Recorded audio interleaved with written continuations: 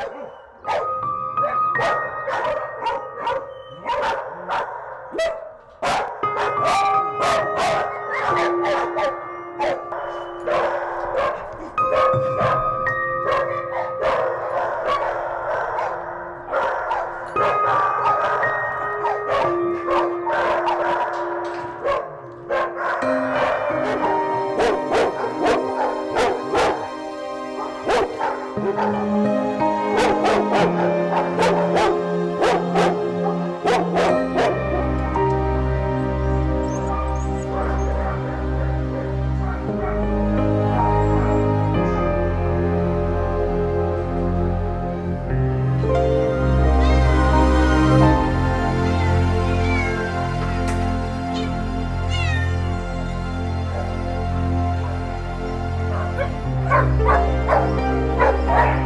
Fly, she came in as a stray. We've had her for about two weeks. Obviously, she's Yeah. she's been here for the five days, and nobody's claimed her, so she's available for to rehoming. So we're delighted that you're taking her here to sanctuary um, to get her rehomed for us. So she's a wee uh, female. She's she, her teeth are very very very. Or still, she still has puppy teeth. She's maybe six months to, to eight months old. Um, I'd say she's a collie cross as opposed to a pure collie.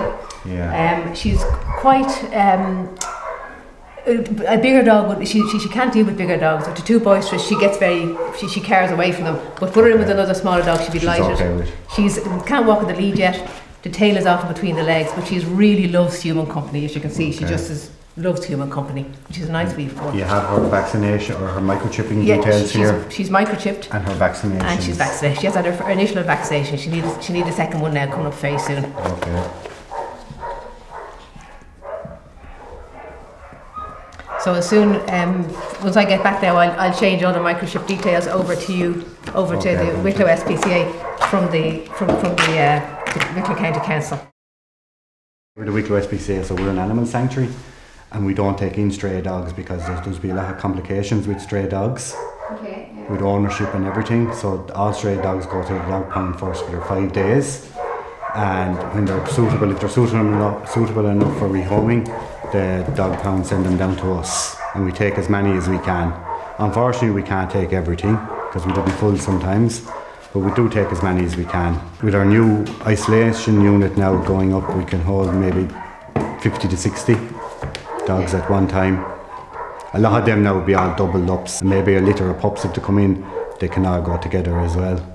At the animal sanctuary here, we do take in uh, if there is a dog or a cat or anything, a horse or anything, a cruelty case, they've been in a bad condition, we take them into the sanctuary here.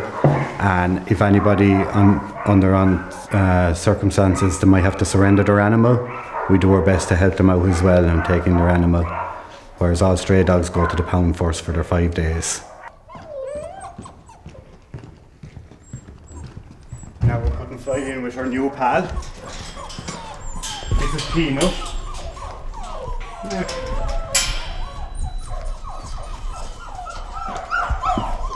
hope good buddies. No arguments. Now, hopefully, we won't. It'd be very hard to home the two of them together to one person, so we'll probably get we'll get homes for them individually, all right, and we'll have them. Uh, they'll be they're microchipped, uh, vaccinated, wormed, and they'll be neutered as well. We've put it up on the website, on our website, and on Facebook as well. They're very good for meeting one another for the first time. Okay, now we had all these six puppies were in foster care. One lady took the six of them for us for a couple of weeks, and we'll put them up for adoption. They're up for adoption now. We were found by a member of the public on the side of the road in a box, in a cardboard box. We have them vaccinated now and warmed. So hopefully we get homes for the six of them. The adoption process starts with people come in, choose an animal, fill out a form, a questionnaire, which we hope and encourages them to think about what they're doing. And long term, we're looking for uh, a good, reliable ownership, responsible ownership. They fill out a form. Uh, we pass the form on to one of our volunteers who will go out and check for a secure garden and that the dog's needs are in place. Once the home check is passed, they come back and collect the dog, and uh, we give a neutering voucher.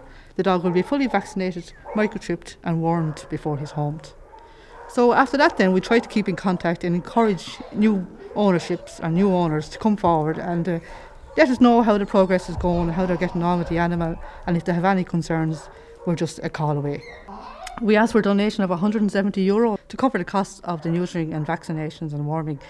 Uh, It, it sounds a lot, but cost alone in some of the vets would be that amount. So it's a non-profit making. It's not uh, extreme cost. An animal has uh, access to water, food, and a bit of love and care. You know, you're 99% there.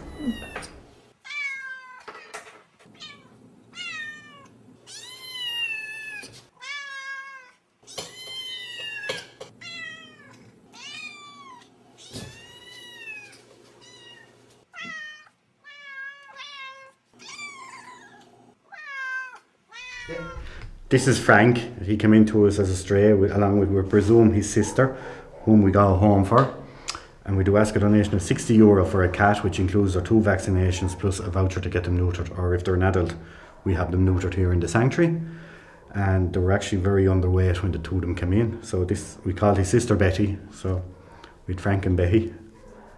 We used to do home visits for cats, but we gave it up because we thought a total waste of time, considering cats climb trees and climb walls and everything. So we just asked the people. Usually, ninety nine point nine percent of the people who come into us already have a cat or had cats before in their life. So it's very seldom we'd have to do a home visit for a cat at the moment, so which is good.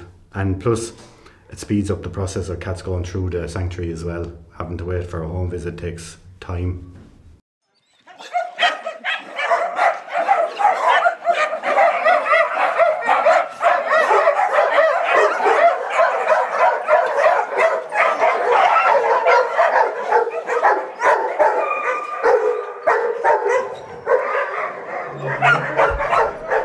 Okay, this is Dolores, and Dolores came into us as a stray, and she had a family of five little kittens. So they're only about two weeks old at the moment or less, and we'll hopefully we'll get home for them all. And she really isn't a stray because she is just so friendly. So whether mm. someone threw her out now when she had the kittens or not, I don't know, but we'll get home for them. We have her down for about three or four years of age, but it's harder to tell with a cat what age they are. Will. And she is very, very friendly. We find it very hard to home a black cat or a black kitten. If we have black cat or black kitten and tortoiseshell or ginger or white and tabby or tabby, they will always be picked first.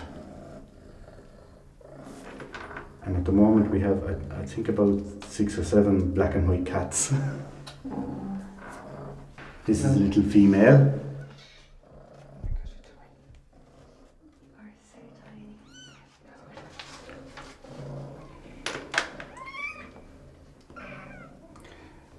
And this is a little male. And as you can see, the mother is very good. She doesn't mind us handling them or anything. Hmm. To get their first vaccination about eight weeks, and then their second one three weeks later. Now they won't be up for adoption till they're eight weeks.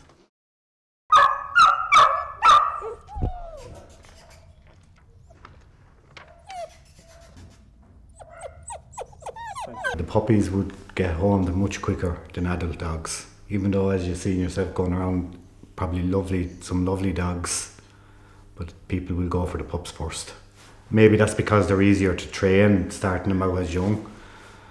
But it's hard to know. Like if you had the time and effort, you would train an adult dog as well. When people get their um, adopt their dog or cat, we have little collars there for the cats as well, and collar and lead for the dogs that they can buy off us. On our open days now, we do uh, sell tea and coffee and that, and buns and things, which brings in a few extra pound for the sanctuary.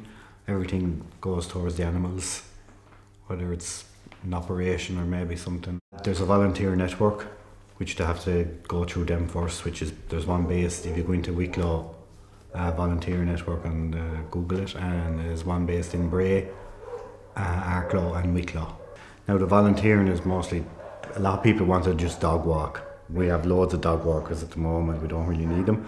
Fundraising would be more so we need for collecting maybe in shopping centres and that, and help with open days.